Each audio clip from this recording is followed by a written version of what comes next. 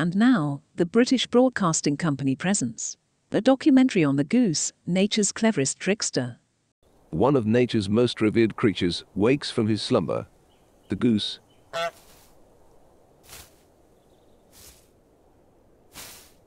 Bursting from his den, the goose stretches his wings. Once the goose is once again familiar with his footing, he looks upon his treasured collection, his pile of golden bells. A fallen tree obstructs his path. But it's no match for this clever creature's intelligence. This goose uses its beak to interact with the objects of the world. A natural puzzle solver, this goose quickly passes the fence. But truthfully, it never stood a chance against this goose's intelligence.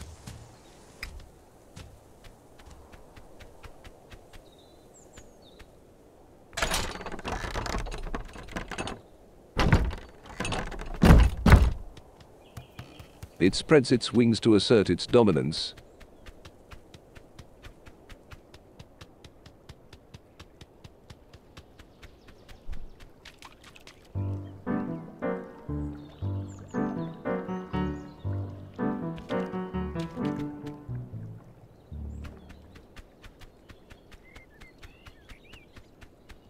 Seeing the basket, the goose changes its plan.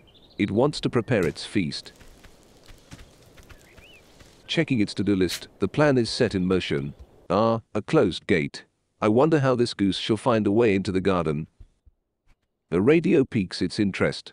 Geese are well-known music enjoyers. I wonder what music it has on its mind.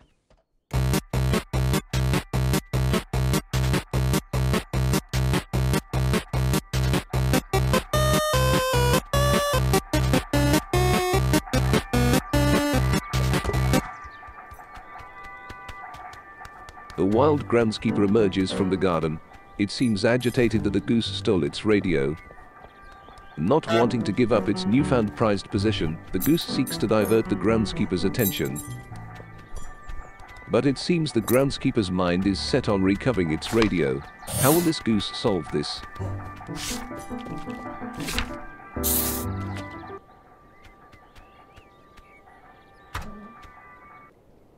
The goose is inside the garden. It is now in full control of whatever will transpire there. For the groundskeeper, the rose represents a memorial to its late wife. Seeing it stolen from its place enrages the creature, causing it to come after our feathery friend. As an insult, the goose honks at the groundskeeper, mocking the tragedy that has befallen him. In reality, stealing the rose was but a plan for the goose to steal the groundskeeper's hat. It quickly runs away to hide it, exposing his bald head to the sun. It steals a carrot. Its meal is almost ready. In order to secure the garden for himself, the goose sets a diversion for the groundskeeper.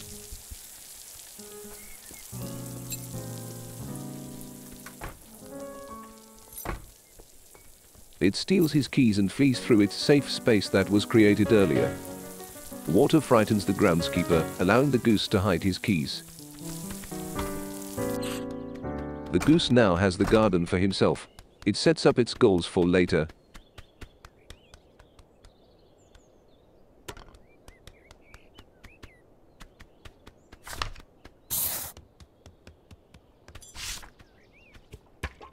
The groundskeeper sets his attention to his stolen pumpkin, naturally.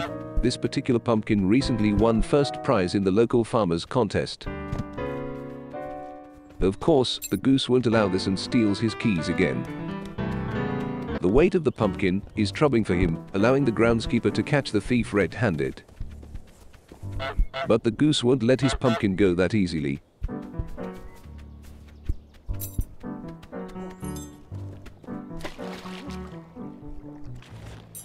It throws the keys in the lake again. Now it has all the time in the world to place the pumpkin on the blanket, finishing its meal.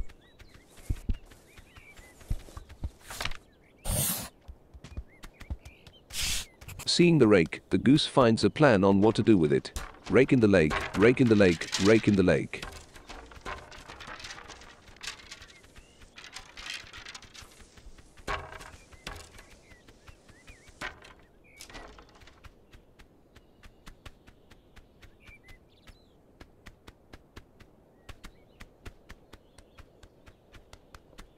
Making sure the groundskeeper's attention is diverted on the useless pumpkin, its plan continues. Rake in the lake, rake in the lake, rake in the lake. Accomplishing this tremendous task, it honks to assert its dominance.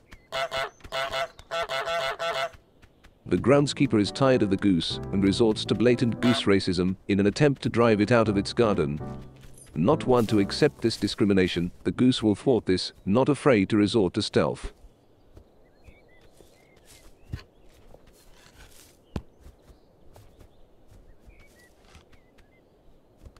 The well-timed honk makes the groundskeeper hammer his thumb. Finishing his tasks in the garden, the goose honks at his helpless victim to assert its dominance. Knowing it no longer has plans in the garden, the goose ventures further, causing mayhem for the rest of the world. Thank you for watching the first part of the documentary on the goose, nature's cleverest trickster. Please make sure to subscribe to stay up to date for the continuation of this series. A like is also much appreciated.